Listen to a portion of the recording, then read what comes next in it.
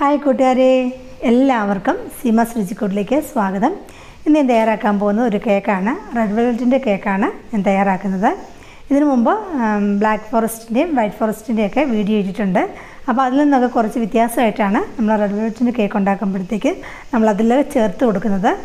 Cream ചീസും butter മിൽക്കും ഒക്കെ ചേർത്തിട്ട് വളരെ അടിപൊളി രുചിയുള്ള ഒരു കേക്കാണിത്. അപ്പോൾ നല്ല ടേസ്റ്റി ആയിട്ടുള്ള ഈ കേക്ക് എങ്ങനെയാണ് ഉണ്ടാക്കുന്നത് നമുക്ക് നോക്കാം. ഇതൊരു ഒൻപത് ഇഞ്ചിന്റെ ട്രേ ആണ് ഞാൻ എടുത്തേക്കുന്നത്. ആ ട്രേയിൽ ഒരു അല്പം ഓയിൽ തടവിയിട്ടുണ്ട്. എന്നിട്ട് ഒരു ബട്ടർ പേപ്പർ അങ്ങോട്ട് ഇട്ട് കൊടുക്കാം. ഇനി ഈ പാത്രം നമുക്ക് ആദ്യം ഒന്ന് ഇതുപോലെ സെറ്റാക്കി വെച്ചിട്ട് മാറ്റി വയ്ക്കാം ഒരു പാത്രത്തിന്റെ മുകളിലേക്ക് ഒരു അരിപ്പ വെച്ചിട്ടുണ്ട്. ഇതിലേക്ക് ഇതൊരു ഒന്നര കപ്പ് മൈദ എടുത്തേക്കുന്നത്. അപ്പോൾ ഈ മൈദ ഇതിലേക്ക് ഇട്ട് കൊടുക്കാം. കാൽ ടീസ്പൂൺ ഉപ്പെടുത്തിട്ടുണ്ട് പിന്നെ ഒരു അര ടീസ്പൂൺ കൊക്കോ പൗഡർ അര ടീസ്പൂൺ ബേക്കിംഗ് സോഡ ഒന്നര ടീസ്പൂൺ ബേക്കിംഗ് പൗഡർ ഇത്രയും കൂടി എടുത്തത് ഇതിലേക്ക് ഇട്ട് കൊടുക്കാം. ഇനി ഇത് നന്നായിട്ടൊന്ന് അരിച്ചെടുക്കാം. അപ്പോൾ ഇത് ഞാനൊരു മൂന്ന് പ്രാവശ്യം അരിച്ചെടുത്തതാണ്. അരിച്ചെടുത്തിട്ട് നന്നായിട്ടൊന്ന് ഇങ്ങനെ മിക്സ് ആക്കി കൊടുക്കുകയാണെങ്കിൽ അത്രയും നല്ലത്. അപ്പോൾ മൂന്നോ നാലോ പ്രാവശ്യം അരിച്ചെടുക്കുകയാണെങ്കിൽ അത്രയും സോഫ്റ്റ് ആയിട്ട് നമ്മുടെ കേക്ക് കിട്ടാൻ കിട്ടും. പിന്നെ അതേപോലെ തന്നെ ഈ ബേക്കിംഗ് സോഡയുടെയും ബേക്കിംഗ് പൗഡറിന്റെയും ഒക്കെ ഇടയ്ക്കിടയ്ക്ക് ചില ചൊവയോ അങ്ങനെയൊന്നും നമുക്ക് ഫീൽ ചെയ്യത്തില്ല കേട്ടോ. അപ്പോൾ ഇതുപോലെ നന്നായിട്ട് അരിച്ച് മാറ്റി വയ്ക്കുക അപ്പോൾ ഇത് നമുക്കങ്ങോട്ട് നീക്കി വയ്ക്കാം ഇതൊരു അരക്കപ്പ് പാൽ ചെറു ചൂടോട് കൂടി എടുത്ത് വെച്ചേക്കുന്നതാണ്. അതിലേക്ക് ഒരു ടീസ്പൂൺ വിനാഗിരി കൊണ്ട് ചേർത്ത് കൊടുക്കാം. ബട്ടർ മിൽക്ക് തയ്യാറാക്കി എടുക്കാനായിട്ട് ഇതേപോലെ നമ്മൾ വിനാഗിരി തന്നെ ഒഴിച്ചു കൊടുക്കണമെന്നില്ല. ഒരല്പം തൈരോ അതല്ലെങ്കിൽ നാരങ്ങാ നീരാണെങ്കിലും ചേർത്ത് കൊടുത്താൽ മതി. ഇവിടെ ഞാൻ സൂപ്പർ റെഡ് കളർ എടുത്തേക്കുന്നത് അത് നമുക്ക് ഈ ബട്ടർ മിൽക്കിലോട്ട് ചേർത്ത് കൊടുത്തേക്കാവേ. ഇത് നല്ല കുറച്ച് കോസ്റ്റ്ലി ആയിട്ടുള്ള റെഡ് കളറാണ് ഞാൻ യൂസ് ചെയ്തേക്കുന്നത്. അല്ലെങ്കിൽ സാധാ റെഡ് കളർ ചേർക്കുകയാണെങ്കിൽ നമ്മളിത് കേക്ക് ഉണ്ടാക്കി കഴിയുമ്പോഴത്തേക്ക് ഒരു പിങ്ക് കളറായിട്ട് നമുക്ക് തോന്നും. അപ്പോൾ ഇത് ഒന്ന് മാറ്റി വയ്ക്കാവേ ഒരു മൂന്ന് മുട്ട ഒന്ന് പൊട്ടിച്ചൊഴിക്കുക ഒരു പാത്രത്തിലേക്ക്. ഇത് വലിയ മുട്ടയായതുകൊണ്ടാണ് മൂന്നെണ്ണം എടുത്തത്. ചെറിയ മുട്ടയാണെങ്കിൽ നാല് മുട്ട വരെ നമുക്ക് എടുക്കേണ്ടി വരും. ഇനി മുട്ടയിലേക്ക് ഒരു ടീസ്പൂൺ വാനില എസൻസ് ചേർത്ത് കൊടുക്കുക. നന്നായിട്ടൊന്ന് പതപ്പിച്ചെടുക്കുക. മുട്ട നന്നായിട്ട് വാനില എസൻസ് ഒക്കെ ചേർത്തിട്ട് നന്നായിട്ട് പതപ്പിച്ചെടുത്തിട്ടുണ്ട്.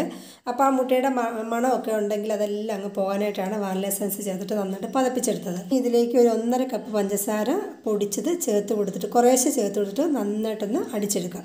ഈ പഞ്ചസാര പൊടിച്ചതിന് ശേഷമുള്ള അളവാണ് ഒന്നര കപ്പ് കേട്ടോ. അപ്പോൾ അത് കുറേശ്ശെ ഇട്ട് കൊടുത്തിട്ട് ഒന്നിച്ചിട്ട് കൊടുക്കണ്ട കുറേശ്ശെ ഇട്ട് കൊടുത്തതിന് ശേഷം അടിച്ചെടുത്താൽ മതിയേ.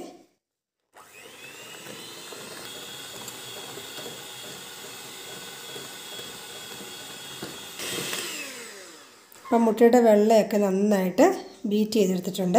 അപ്പോൾ ഈ ഇത് നന്നായിട്ട് വെള്ള കളർ ഇതുപോലെ വരണം. അത്രയും നേരം നമ്മൾ ബീറ്റ് ചെയ്തുകൊണ്ടിരിക്കണം കേട്ടോ. ഇനി ഇതിലേക്ക് ഒരു അര കപ്പ് സൺഫ്ലവർ ഓയിൽ എടുത്തിട്ടുണ്ട്. അത് ഇങ്ങോട്ട് ചേർത്ത് കൊടുക്കും. ഓയിൽ ഒഴിച്ചതിന് ശേഷം ഒത്തിരി നേരം നമ്മൾ ബീറ്റ് ചെയ്ത് കൊടുക്കണ്ട. കുറച്ച് നേരം ഒന്ന് ബീറ്റ് ചെയ്താൽ മതി. എല്ലായിടത്തും ഒന്ന് ആയി കിട്ടിയാൽ മതി ആ ഓയിൽ എല്ലായിടത്തും ഒന്ന് സ്പ്രെഡായി കിട്ടിയാൽ മതി. ഒത്തിരി നേരം നമുക്ക് ബീറ്റ് ചെയ്യേണ്ട ആവശ്യമില്ല. ഇവിടെ നമ്മൾ ആദ്യം കളർ ചേർത്ത് വെച്ച ബട്ടർ മിൽക്കും പിന്നെ മൈദയുടെ കൂട്ടും പിന്നെ മുട്ട ബീറ്റ് ചെയ്തതും ഉണ്ട്. ഇനി ഇത് മൂന്നും കൂടി നമുക്കൊന്ന് മിക്സ് ആക്കി എടുക്കാം. കുറച്ച് മൈദയുടെ കൂട്ട് അങ്ങോട്ട് ഇട്ട് കൊടുക്കാം. മൊത്തം കൂടി ഇടണ്ട കുറേശ്ശെ ഇട്ടാൽ മതി. എന്നിട്ട് ഇതൊന്ന് ആദ്യം ഇത് മിക്സ് ആക്കുക ഇനി ഇതിന്റെ കൂടെ കുറച്ച് ബട്ടർ മിൽക്ക് അങ്ങോട്ട് ഒഴിച്ച് കൊടുക്കാവേ. ഇത് ഒന്നിച്ച് ബട്ടർ മിൽക്ക് മുഴുവൻ കൂടെ എടുത്ത് ഒഴിച്ച് കൊടുക്കരുത്.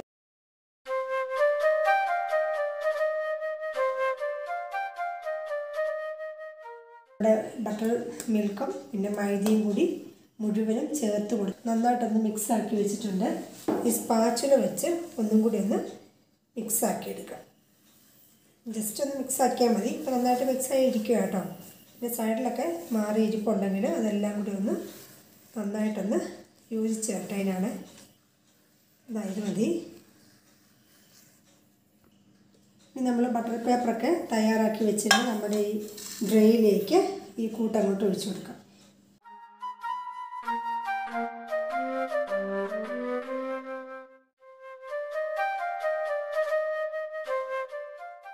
ഇത് നന്നായിട്ടൊന്ന് ടാപ്പ് ചെയ്തതിന് ശേഷം നന്നായിട്ടത് ടാപ്പ് ചെയ്യണം. അതിനുശേഷം നമുക്കിതൊന്ന് ബേക്ക് ചെയ്തെടുക്കാം. നൂറ്റി അമ്പത് ഡിഗ്രി സെൽഷ്യസിൽ പത്ത് മിനിറ്റ് പ്രീഹീറ്റ് ചെയ്ത ഓവനിലേക്ക് നമ്മുടെ ഈ കേക്ക് ട്രേ അങ്ങോട്ട് വെച്ച് കൊടുക്കാം. ഇനി ഇതൊരു നാൽപ്പത്തഞ്ച് മിനിറ്റ് നേരത്തേക്ക് നമുക്കൊന്ന് ബേക്ക് ചെയ്തെടുക്കാവേ.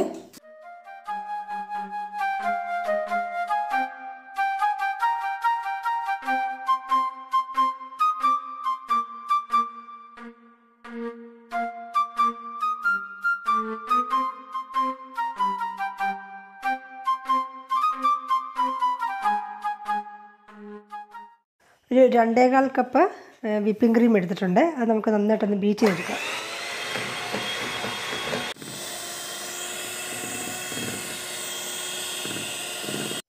ഇത് നന്നായിട്ട് ബീറ്റ് ആയിട്ടുണ്ട് നമ്മുടെ ഈ ബ്ലേഡ് കണ്ടോ? ബ്ലേഡിൽ നന്നായിട്ട് ഫില്ലാകണം ഇതുപോലെ. ഈ ഇതുപോലെ ഫില്ലാകും വരെ നമ്മൾ നന്നായിട്ട് ബീറ്റ് ചെയ്തെടുക്കണം. കേക്കിന്റെ ബോർഡ് എടുത്ത് വെച്ചിട്ടുണ്ട്. ഇതിലേക്ക് ഒരല്പം വിപ്പിംഗ് ക്രീം നമുക്കൊന്ന് തേച്ച് കൊടുക്കാം. നടക്കില്ല. കുറച്ച് നൊട്ടിയിരിക്കാൻ വേണ്ടി മാത്രം തേച്ച് കൊടുത്താൽ മതി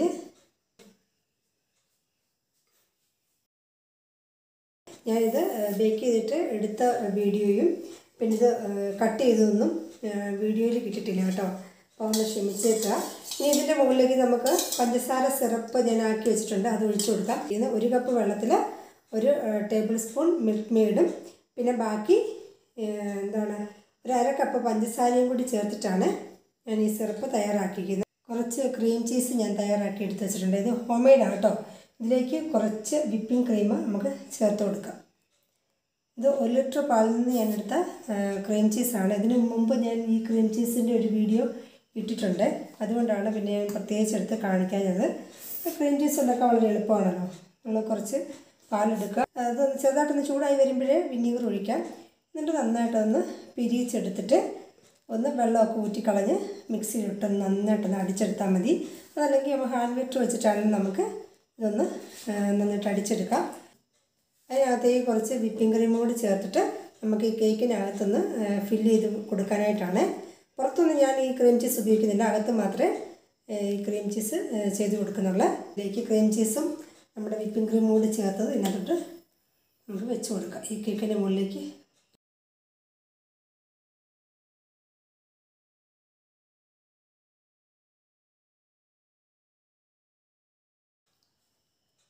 ഇനി ഇതിന്റെ മുകളിലേക്ക് കുറച്ച് വൈറ്റ് ചോക്ലേറ്റ് ഞാൻ എടുത്തു വെച്ചിട്ടുണ്ടായിരുന്നു. അത് കുറച്ച് നന്നായിട്ട് ഇട്ട് കൊടുക്കാം.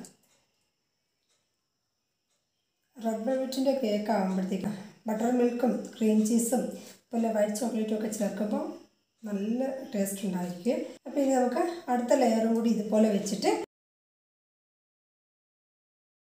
എവിടെയെങ്കിലുമൊക്കെ ഗ്യാപ്പായിട്ട് കിടപ്പുണ്ട്. അതിൽ ഒന്ന് ഫില്ല് ചെയ്ത് കൊടുക്കാനായിട്ട് ഈ ഒരു റൗണ്ട് നമുക്ക് സഹായിക്കും അപ്പോൾ അതിനുവേണ്ടി മാത്രം കുറച്ച് വിപ്പിംഗ് ക്രീം എടുത്തിട്ട് ഈ സൈഡിലൊക്കെ ഒന്ന് ഫില്ലാകാനുള്ളിടത്തും കണ്ടോ കുറച്ച് ചെറിയ ചെറിയ ഗ്യാപ്പൊക്കെ ഉണ്ടല്ലോ അവിടെയൊക്കെ ഒന്ന് അടച്ചു കൊടുക്കണം. അപ്പോൾ ഇതൊരു പത്ത് മിനിറ്റ് ഫ്രിഡ്ജിൽ വെക്കുവാണെങ്കിൽ അത്രയും നല്ലത് കേട്ടോ. ഇനി നമുക്ക് എന്തായാലും ബാക്കി ഐസിങ് ചെയ്ത് കൊടുക്കാം.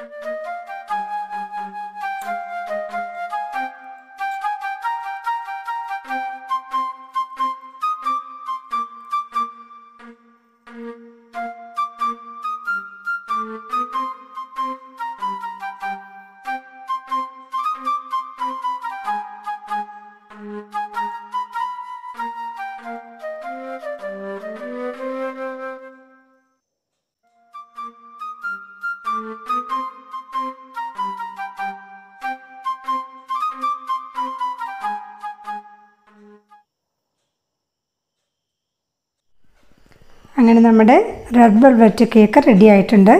അപ്പോൾ നിങ്ങൾക്ക് എല്ലാവർക്കും എന്റെ വീഡിയോ ഇഷ്ടമായെന്ന് വിശ്വസിക്കുന്നു. ഇഷ്ടമായെങ്കിൽ ലൈക്ക് ചെയ്യുക. തുടർന്നും എന്റെ വീഡിയോ ലഭിക്കുന്നതിനായി എന്റെ ചാനലൊന്ന് സബ്സ്ക്രൈബും ചെയ്യണേ. Okay thank